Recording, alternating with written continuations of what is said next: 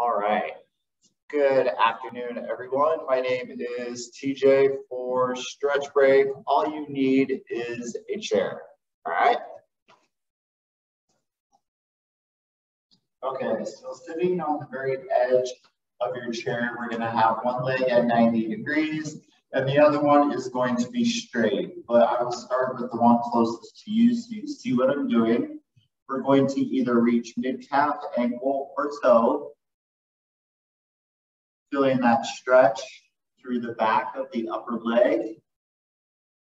Now, by having the toe pointing straight up, you do feel it through the, the, the calf, the lower part of the leg. If you don't want that, you could actually point your toe away from you if you feel like it's too much.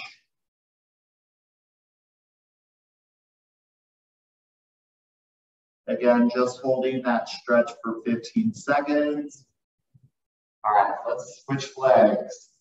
So one leg at 90, the other one is straight, either reaching mid-calf, ankle, or toe.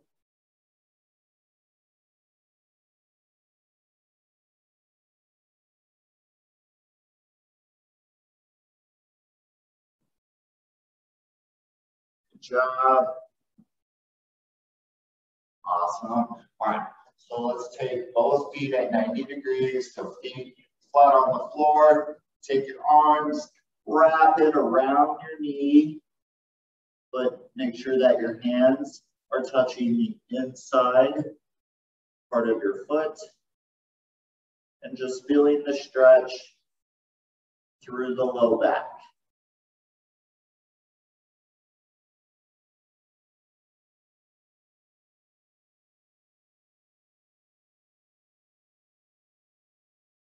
Excellent. All right. So this one, you could do standing up or you could do it seated, totally up to you, especially if you were in a cubicle and you didn't want people watching you. But I want you to sit onto the very edge of your chair so where one side is kind of hanging off. I'm going to use my right hand to grab the edge of my chair and then I'm going to stretch my quad or the front part of my upper thigh. Otherwise, if you wanted to do this standing, you could actually just rest your foot on the chair if that was an easier option for you. Otherwise, grab your foot. This one requires a little more balance. So you have those three options. Excellent. All right, so let's switch legs. Again, I'll turn, I'll show you the alternative. If you are seated, so left hand grabbing the edge of the chair, right hand is going to grab the right foot, and we're just stretching through the front part of the leg. So ideally, you want your shoulder, your hip, and your knee to be straight across or in a straight line.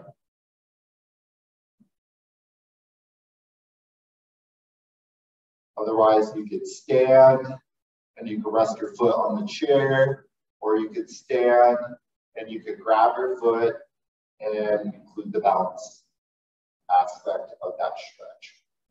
Excellent. All right. So I'm going to have both feet at 90, I'm gonna actually take one, I'm gonna cross it over, so in this case, left ankle over right knee, and I'm going to lean forward, feeling the stretch through the hip, so it's through the leg that's bent is where you should be feeling that, especially through that glute.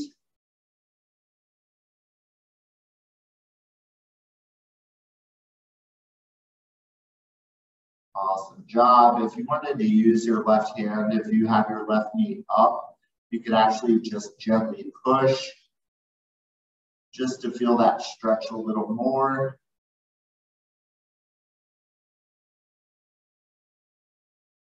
All right, let's switch sides. All right, so now right ankle over left knee. Now, a key thing about this is that you want to make sure that your left ankle is underneath your left knee. And again, just lean forward. And again, this time use the right hand to gently push. You don't have to, but it does help kind of in that stretch a little bit more through that outer hip, especially on this right side.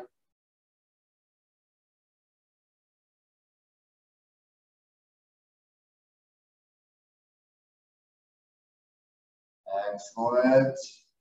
All right.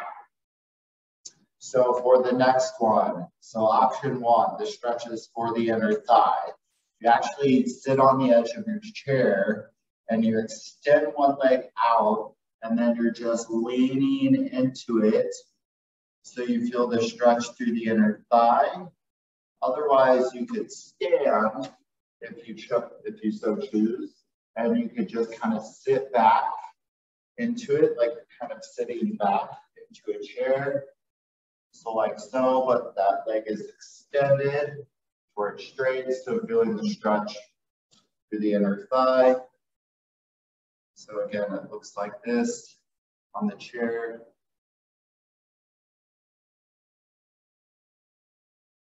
Excellent. All right, so I'm to turn just to show you the opposite side. All right, so remember, in this case, left leg is straight, the right leg is bent. Sitting on the edge of your chair, just be careful not too much of the edge of the chair. You don't want the chair to leave you. So again, feeling the stretch through that left inside leg. And if you were to stand, you would be sitting back into it. That same sort of thing, straight leg, feeling that stretch. Excellent. All right, so now let's work on the stretch of the torso. All right. So left hand is going to cross over right knee, and you're going to sit up tall, twist. Make sure you breathe in.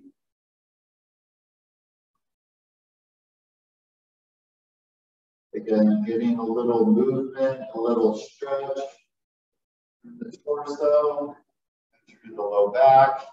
All right, so now let's go right hand to the outside of the right, or sorry, right hand to the outside of the left knee and twist.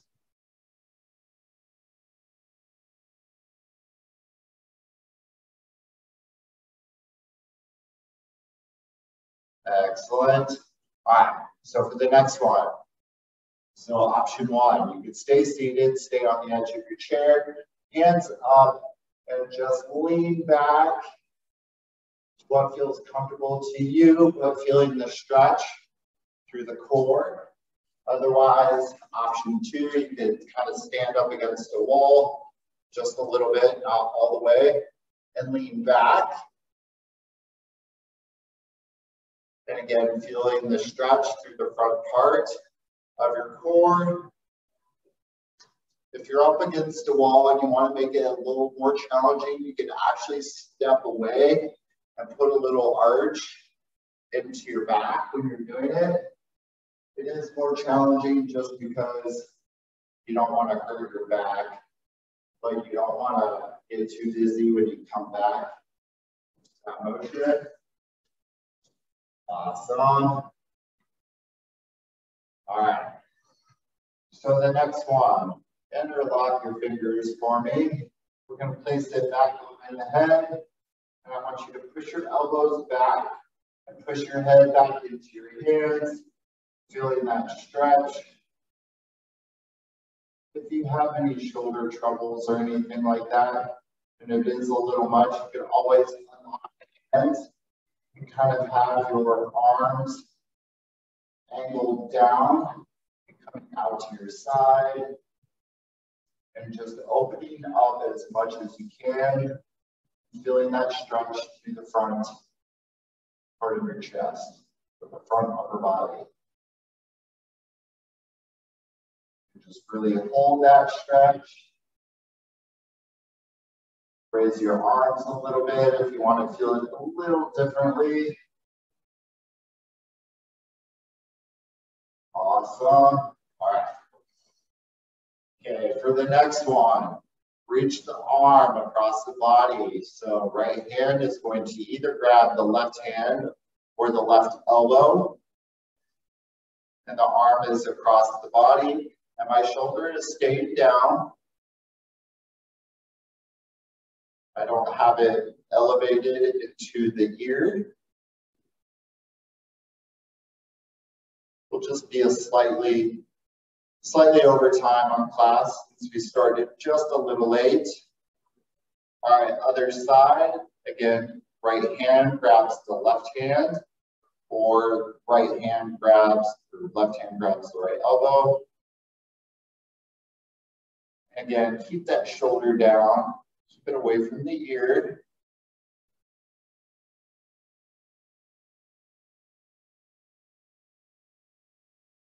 All right, one last and final stretch. I'm gonna face forward so you can see what I'm doing. My left hand is going to grab the, the leg of the chair just for balance and support, just so you don't fall out, fall out of the chair. And I want you to reach over and I want you to feel the stretch underneath the shoulder and to the obliques or down the side of your body. And again, if you want to get out of your chair, you can actually do the same exact, exact thing.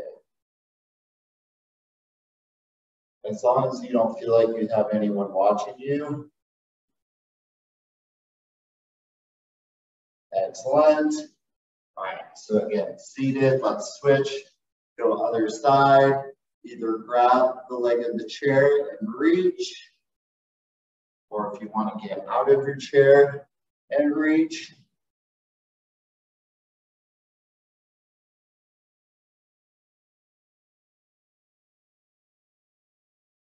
Excellent.